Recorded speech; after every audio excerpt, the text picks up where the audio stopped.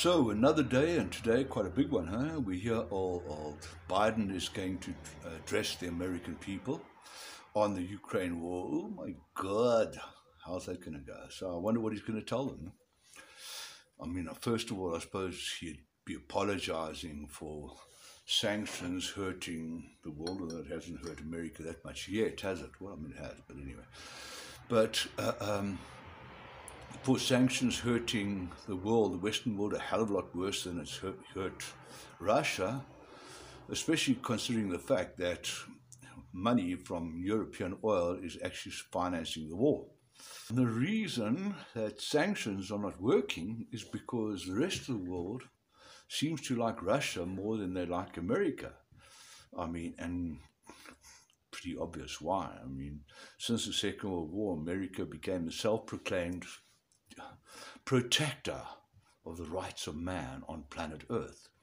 And then it became a bit shit well, a few years later, I mean, what, in about the 1980s or 90s or early 2000s, I can't remember, when they passed, what was it, the Balfour Declaration or some declaration, which said, no, on this planet there will only be the United States as a superpower. There will be no other superpowers.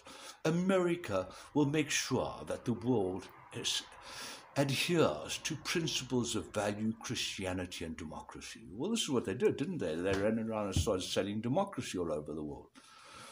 Now, the rest of the world didn't know what the fuck democracy was. I mean, it sounded all wonderful. I mean, but they'd never had it. It's like us, you having, uh, uh, you know, cooking your whole life and you never had a food processor.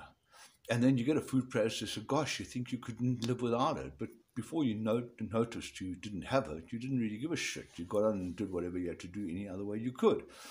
And it's the same. People didn't miss democracy until it arrived. And then now they're looking back and they see the countries that have actually received or been converted to democracy, the same as Christianity, are bloody disaster zones. So, would you like democracy? No, no, no. no. I tell you what, take it somewhere else. So, Biden's going to have to swing this thing. And that's why Americans are not, not liked so much. They're not liked by the rest of the world, by Africa. I mean, if you ever have a look which way it's swing, Asia, we know it's not going to go with the States or NATO. Um, Africa, well, it's got a long, tired history of colonialism. So the chances are them trusting Europe would be very, very slim. And of course, America coming in and it's the whole, you know, humanitarian thing and changing democracy. I can never wonder why people in countries that have got resources or value adds, those people deserve humanitarian aid better than these poor destitute fuckers living in places that are falling apart. I suppose there must be sense in that somewhere but I seem to, it just evades me. But anyway, that's a sign. I mean, Somalia, busy, a million people are going to die of starvation. That's a fact. In the next year, and Ukraine, we know what's happening in Ukraine, but I mean, there, the civilian, the civil rights of these people are, are, uh, are you know, they enshrined. I agree. I mean, it's, I'm not justifying the war, I mean, for God's sake. You know, do I like what Putin's doing? No. But I do, I respect him sticking to his guns and not flip flopping like the West does. Yeah, I do. He turns around and says, Hey, you do this, I will murder you. So what? They do that, he comes and murders you. Look at what's happening with Finland and Sweden at the moment. I mean, I don't know what's going on in their heads because NATO's got no teeth, as we see. United Nations has fallen off the planet. I see they're doing a sort of a comeback now, and they're wanting to go and see Putin, and they're wanting in Moscow, and they're wanting to go and see Zelensky in uh, um, in Kiev, and they're trying to recover because why? Because the Governor General got sent a letter by 200 delegates in the United Nations that says, "Get your shit together because we're busy falling off the block," which means we will not have jobs. I suppose. So they're trying to do, but NATO, uh, they are putting up arms. I suppose they have. While they've been telling us, no, we must come arms, they've been piling up weapons and piling up on the Eastern Front. And they're ready for this war. And Biden is probably going to tell them, well, guess what, folks? We're all going to war. Uh, in some way. I don't know how he's going to swing it, but because, you know, as I say, I don't think the American people like it. They like hamburgers and they don't like this war. I mean, since 1949, I read somewhere else that with the best army and 10 times the more spend, military spend, than the next 10 contenders for the top position as military big guns combined, and they still haven't won a war since the Second World War. It's quite incredible that, eh? not one war. It's quite amazing. But uh, um, shame. I mean, I'm not gunning them. I just I feel sorry for America. I feel sorry. It's hard when you're the town bully, and all of a sudden, you know, the of towner comes along and kicks your ass or is threatening to, and you don't want to hit back in case he he does. So they are all setting up for for NATO setting up for going into thing. I think everyone would realize that's why Biden's going to make the speech that this thing is pulling all of the players in. So Finland and Sweden are going to think, oh, bad move. I mean, because that puts them on the border of Scandinavia. Meanwhile, China has just tested a new hypersonic ballistic missile, not intercontinental, probably only about 1,000, 1,500 kilometers. Shame. So it's got us just off thing, but it's made for taking out aircraft carriers, apparently. And uh, uh, Russia has just tested its new hypersonic intercontinental ballistic missile capable of carrying six nuclear warheads. Now, NATO, the um, Russia and America, uh, Russia and China are the only countries, if after this test of China, with hypersonic weaponry. NATO has not got. Uh, uh, uh America equal yeah, it's terrible. So these two guys that are taking these big, these guys have got the hypersonic weapons. They got the oil. They got the food. They're stopping the food getting out of Ukraine. Ukraine is complaining, obviously, about the food. The whole world's going to starve, and it's true.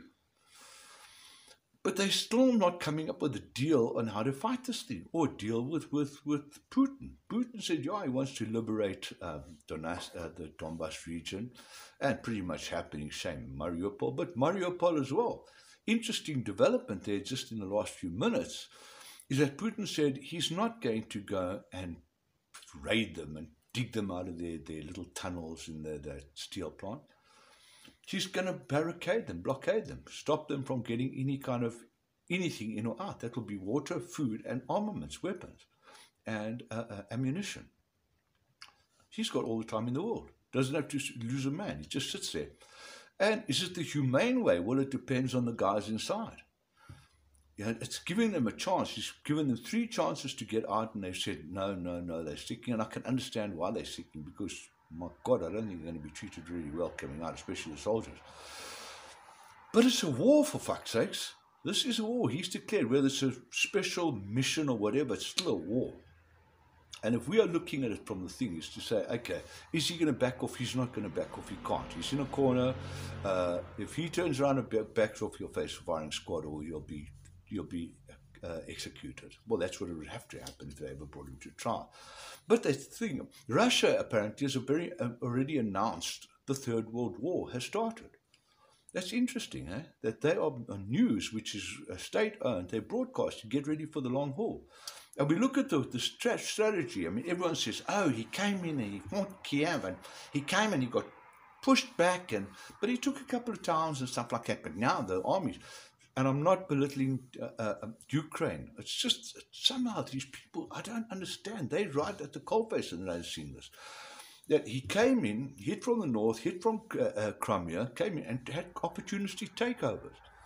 He had a great opportunity to go and take over some areas through speed and haste and small resistance. And it gave him a good assessment of the lay of the land. Now he pulls back and asks a systematic choke for it. I heard a Russian uh, com, uh, uh, news dude, uh, journalist, who said that no, the 9th of May is not a big deal. I mean, it's, yes, it is a nice target, but they know this is going into the autumn campaign or the summer campaign. That uh, uh, you know, this it's going to be a summer campaign, and that's why I said in my first video that he probably raided at the end of their uh, winter, because it gave him six months to take this thing and to get sorted out and to be strategically located for next winter, and coming in the second winter, great to repel, difficult to fight. So I, I think his strategy is just a lot more, a lot more sophisticated than he's been given credence for. And as I say, having China in his back, China again this morning and says, no, no, no, no, no, no. He doesn't want to turn around. They, they don't think the sanction thing is working, this unilateral sanction. They want peace and stuff. But it was a sort of backhand threat, and they turned around and they're testing missiles and they're chunking up their army for the last few years because they are scared of NATO as well. They say, hey, hold it, these guys are getting very aggressive. They are pushing forward. He's China is starting to get scared. Now, if China's making noises like that, do we honestly think China's scared? Yeah. Do we think that he's actually posturing for possible later involvement if he ever gets pulled in? They're very, very clever. Xi Jinping's not a stupid man at all. You don't run a country that big by being dwarf, especially strategically or tactically dwarf. So he's hedging his bets there. Russia is still turning around. They got both of them have got big missiles. America and them are going, oh, we're going to fight back, but we're going to fight with gloves. Meanwhile, they're facing machine guns. Um, yeah, this needs to be taken on different things, and, and but it has to be fought. Eh?